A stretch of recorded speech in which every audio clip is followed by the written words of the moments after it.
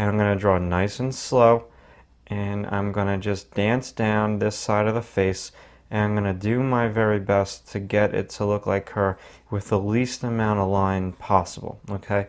Because the least amount of line is the way to go when you're doing a, uh, any drawing, whether it be a figure drawing um, or a portrait, okay?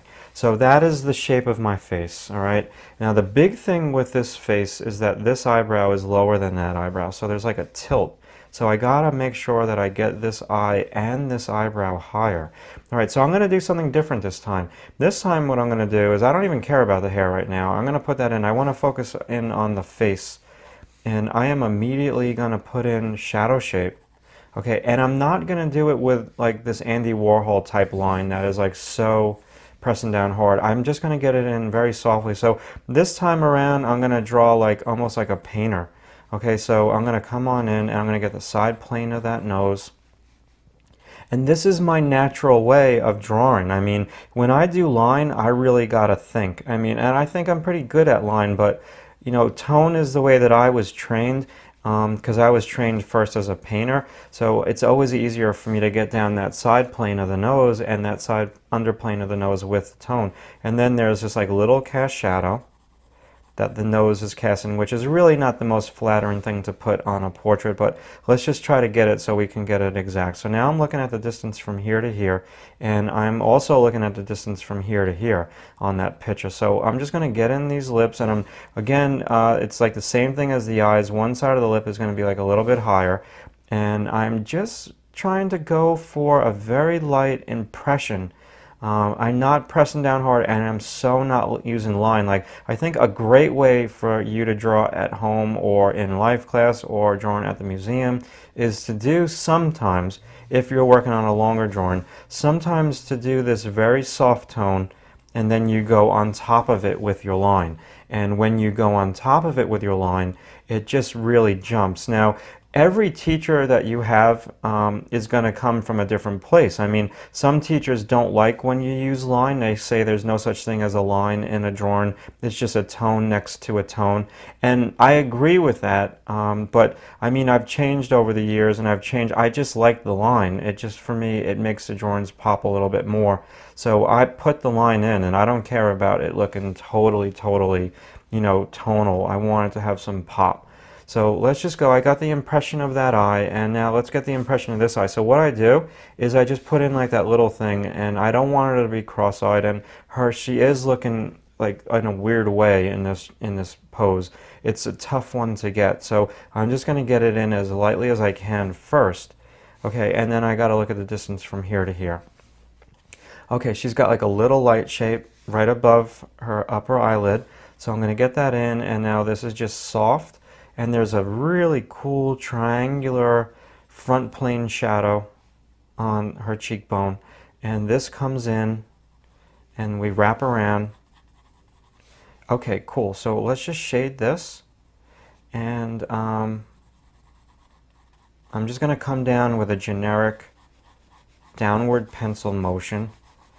Okay I should have done it on a diagonal or I could have done it with the lay of the land meaning I'm going with the way the cheek is going. Okay, so that's cool. That looks like her and I like it. So I know this picture is not the best to see on the camera, especially over here because the values are very um, close together. But trust me, there's like hair here and then there's like a strand of hair that comes down over here and it's going to frame her face a little bit. So now let's come back and look at the negative space from her chin to her shoulder and get the angle in of her neck and that looks good.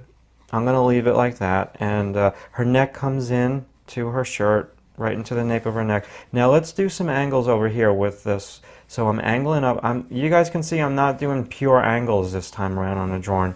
Probably because I've been drawing all day now. And I, if I'm not warmed up by now, I'm never going to be warmed up. But I got to admit my um, line's a little bit more organic than it was earlier. So let's just kind of do the angles, but do them in an organic way. So this comes down this way, and I think what I need to do is I just maybe make this a little taller and maybe kick this out a little bit more. And this is the part that I was explaining that you guys can't really see. That's where the photograph ends, somewhere over there. And so now let's push it. Now let's start to press down harder on our pencil. Before I do that, I forgot about her neck. So I'm going to come on back and try to make her look a little bit longer. And this shoulder, and the last thing that I'm going to do is I'm just going to draw the shape of her skin versus the shape of her shirt. And it's something like that. It's skinnier than what I have. So this needs to come on in. Okay, cool. And now let's continue with the same pencil stroke for our first layer of tone, and that's going to be that downward stroke. All right, so let's um, come in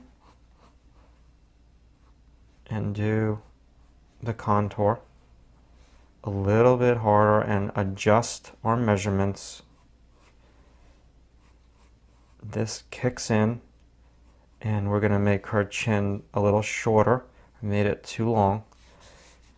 Okay, it's it's a round, sharp edge, which again is one of those oxymoron things. But you got to just go with me on that. All right, so I'm going to leave it, and this line is too straight, so this is going to bow out. And um, now let's come back and frame her face a little bit more with her hair.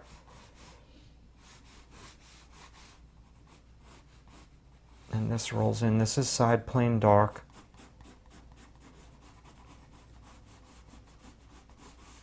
And um, let's just match the value. I'm sorry, let me scratch that.